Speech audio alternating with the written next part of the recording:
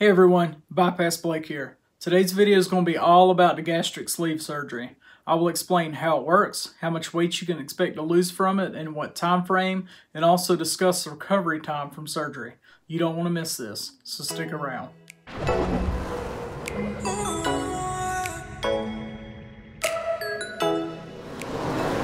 The gastric sleeve surgery, also known as sleeve gastrectomy or vertical gastric sleeve.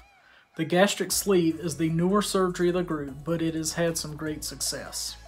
It's typically performed laparoscopically, meaning inserting a lighted scope with a camera and other tools through five or six small incisions in your abdomen to perform the surgery. The surgeon removes approximately 80% of the stomach to create a long, narrow sleeve that is similar to the shape of a banana as your new stomach.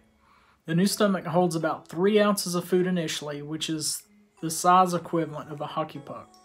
It works by being food restrictive, meaning there's no malabsorption properties. It also changes the metabolism to reduce the hunger and changes in the bile and bacteria in your gut to help lose weight. It doesn't change the way the body processes food and nutrients. However, ghrelin, an appetite stimulating hormone that is made only in the stomach, which is mostly removed during surgery, is lessened which reduces the sensation of hunger and helps you eat less and lose weight. This surgery and also the bypass have also been shown to change the gut bacterial profile in the colon and also stomach bile changes from an abnormal, unhealthy fatty pattern to a leaner, lower weight pattern. All you need to know is this means positive changes in the gut, bacteria, and bile aids in helping to lose weight. The gastric sleeve surgery is not reversible in the surgical sense, because most of your stomach is removed. However, it is possible to stretch your sleeve pouch stomach over a period of time to a close to normal stomach size, and one could argue that it is similar to a reversal. The sleeve can be revised to a bypass and is actually not all that uncommon. People typically have a revision surgery from a gastric sleeve to a gastric bypass due to severe acid reflux, which is heartburn, or a failure to keep the weight off long term. Side note, it's important to mention that most health insurance plans in the United States only cover one weight loss surgery per lifetime, so most revisions or second weight loss surgeries are not covered by most health insurance agencies. That's something to think about or to call your health insurance agency and ask. So the gastric sleeve surgery is typically better for people who have previous abdominal surgeries, such as intestinal removal or severe intestinal scar tissue, where it would make gastric bypass harder or almost impossible to do.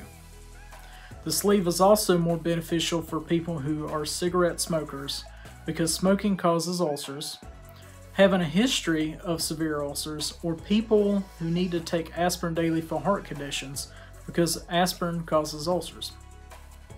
Ulcers are bad for gastric bypass, but less of an issue for people with a sleeve. The surgery takes about one to two hours to complete under general anesthesia. The weight loss of the sleeve is about 60% to 70% of the excess weight in a two-year period. As far as recovery from gastric sleeve surgery is surgeon specific, but typically people stay one or two nights in the hospital. Usually you can go back to work 10 days to two weeks after surgery, assuming you won't be doing any heavy lifting. Typically, you will have lifting restrictions more than 20 to 30 pounds, and you can't do push-pull motions such as vacuuming for the first four to six weeks after surgery. Heavy lifting or pushing heavy loads should also be restricted for three months after surgery. After surgery, typically week one and two will be a liquid-only diet. Over the next three weeks, you will progress to a pureed food then soft food.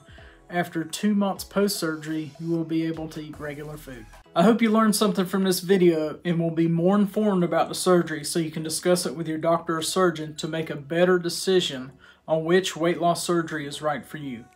Check out my other videos to learn more about the other surgeries and also for advice, tips, and tricks for your weight loss surgery journey. If you found this video helpful, smash that like button, subscribe, share, comment, and as always, thanks for watching.